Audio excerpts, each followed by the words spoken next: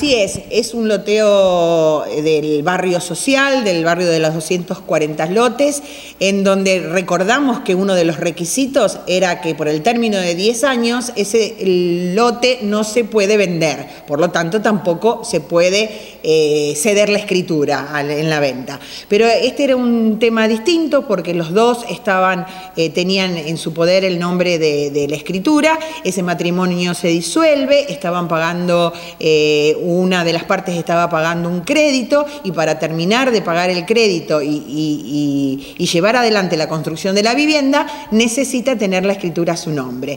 Eh, fue todo corroborado por eh, escribano, por eh, actas y un montón de comprobantes que, es decir, no cambió, no cambió el dueño uno de los dueños se bajó de su escritura. Y cede la potestad del terreno a, la otra parte. Exacto, para que pueda seguir pagando el crédito que ya estaba a su nombre y pueda terminar de construirse su casa. Perfecto, eso fue aprobado. Eso fue aprobado. Eh, por eso tuvo que venir al Consejo.